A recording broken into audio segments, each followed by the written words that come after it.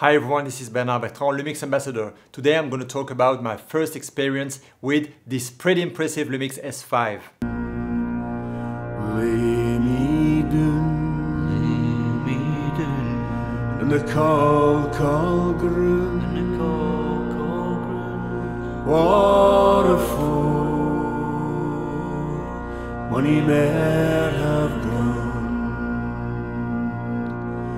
This is not going to be another review about that brand new amazing piece of equipment.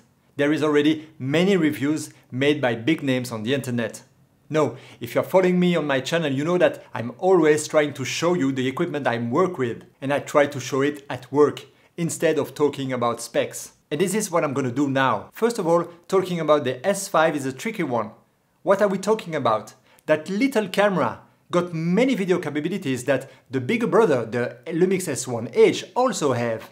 It is also a real professional still image camera for photographers out there. And the size of the camera itself is actually smaller than the GH5, even if it's just a little bit smaller. So yes, it's a pretty impressive beast we have here. Of course, we all remember the big improvement from the GH4 to the GH5 back then when discovering the in-body image stabilization. Since then, we find it in the entire Lumix S1 camera lineup. And you know that it's pretty impressive. Same thing on this tiny camera. As I mentioned, there is also many other video specificities that this little S5 shares with the S1H. Different beast anyway. I would say that the S1H is a real cine camera into a still image camera body. It's super compact after all. And I have been pretty busy lately, so unfortunately I have not been able to shoot or test the S5 before. And a couple of days ago I wanted to test it, finally. And what I love, of course, like everyone, is that it is ultra compact. And a few days ago I did ask a friend of mine if he could spend a couple of hours with me testing a brand new camera. He is a professional MMA fighter and actor. So we went deep into the woods as I had something in mind. I wanted to shoot anamorphic and I knew that I would get really interesting effect with the anamorphic bokeh because of the sunlight passing through those trees. Close your eyes and remember me. So we were there, the two of us, carrying a C-stand, a small Dedolight D4 with a tiny softbox a counterbalance weight for the C-stand and my backpack. Nothing else. At the beginning I had in mind to use the Ronin S, but I forgot to charge the battery of the Ronin S the night before. If you own a Ronin S, you know that the battery lasts forever. So I almost never put it on charge. So no gimbal that day. But again, if you are following me on my channel, you know that 90% of the time I like to work handheld and floating around my subject with the camera.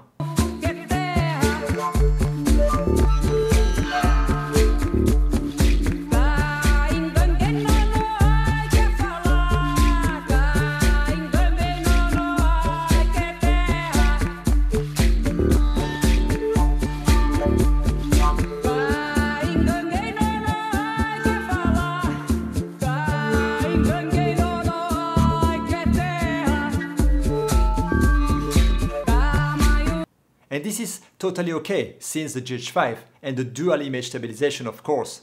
So this is exactly what I did.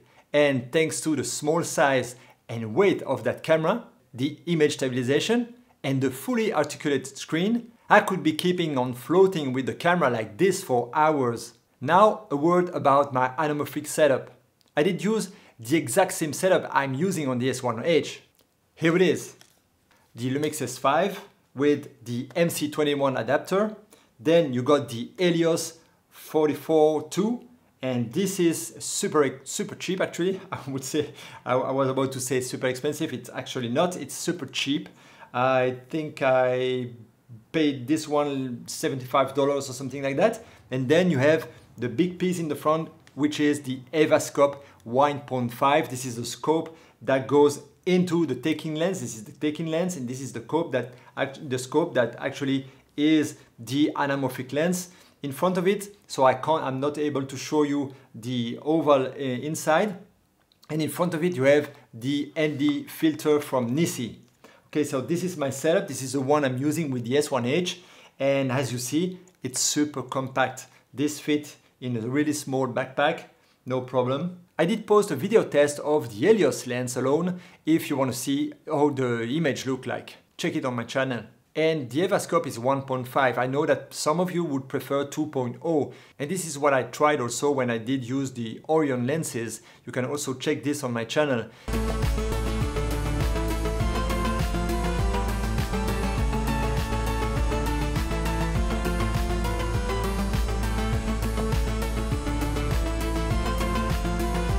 But I love this 1.5. It's more than enough to have interesting effects into flares and also the bokeh as you see into the video clip that I did. And I love it first of all because it's a real quality lens, nicely made and it's a solid piece of equipment. And of course, it is a single focus. That means that I have to set the focus on my Helios lens to the maximum and then from there, I'm pulling focus on the Aivascope itself and that's it. And no matter what anamorphic lens you'll be using, and I believe also no matter what camera you will be using when shooting anamorphic, it is sometimes a bit tricky to pull the focus on your subject. As soon as you'll be shooting with an anamorphic scope on your camera, the peaking, the tool that helps you to check your focus, will be less visible.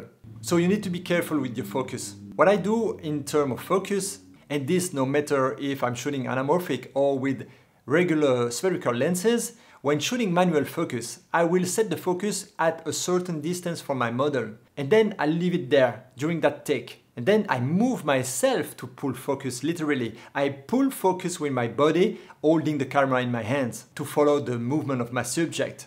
And if you already did some research on the Lumix S5, you already know that there is an enormous improvement in terms of autofocus system. And this improvement will apparently also come to the rest of the S family through a firmware update, I believe. But when shooting anamorphic, you will pull focus manually anyway. And when I'm shooting fashion, no matter what lens I'm using, I most of the time also like to pull focus manually, as I also love to get that in and out of focus feeling on my subject. So a word about my exposure and light. As you see in the backstage video, I did use the small Dedolight D4. This is the little D4 that I did use uh, during that shoot with the softbox in front of it. The D4 was powered by a V-Lock mount battery using a simple D-type cable as I wanted to shape a kind of circle of lights around him on those shots. And it brings something like a third or an half stop on him, not more than that. And this is what I wanted in order to be able to control my light on him without stepping too much onto the ambient light. If I pull down the exposure in post, you will see that the softbox is indeed slightly stronger than the ambient light. It also brings that little sparkle into the eyes. I own a complete Dedolight kit for years. This is actually what I'm using right now. I got the same kind of softbox on top, right in front of me, probably like uh, 70 centimeters away from my face. Then I got another Dedolight, this is a D9, but a D4 will also do the trick, that reflects uh, right there into a circular reflector. And then I got the third uh, Dedolight D4 that hit my background to do the effect behind. In terms of exposure, I was most of the time on the 180 degree shutter rule. I said most of the time because I realized once that I was completely off I was indeed supposed to shoot at 100 of a second, as I was recording those images at 50 frames per second. And this is something that will not happen on the S1H, where you'll be able to choose your shutter angle instead of the shutter speed. Anyway, I'm of course using an ND filter on front of my Aivascope, and I'm using a Nisi filter. The quality of those filters is excellent, and you have a stopper that means that when you are actually passing from the minimum effect of your variable ND filter to the maximum, there's a stopper. There's no way you can pass out the limit. On my GH5, I still own an old variable ND filter that does not have those stoppers. So it may happen that you pass over or under the filter limit. And if you do, your footage it's not usable. So no matter what brand you go for, choose one that has those stoppers like my Nisi ND filter. And as you see on those images, sometimes I was simply counterbalancing the sunlight with the Dedolight. So it's a pretty simple setup I got there, nothing complicated. And this is the whole point.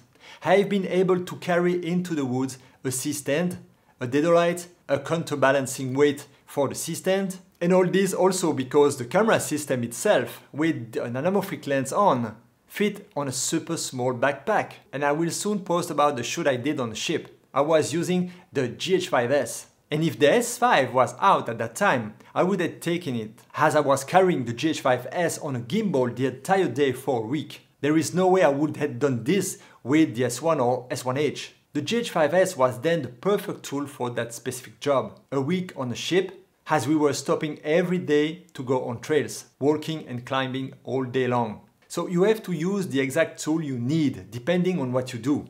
I love technique, especially when it comes to lighting. But all the technique does not have any sense to me unless it is used for your own creativity. And it is indeed totally crazy to me to realize you can have so much opportunity with such a small camera. And as I mentioned, this is my very first proper test of the S5 and I wanted to share with you. And I will for sure come with more and more backstage video like this one. And if you have any question, please let it into a comment below.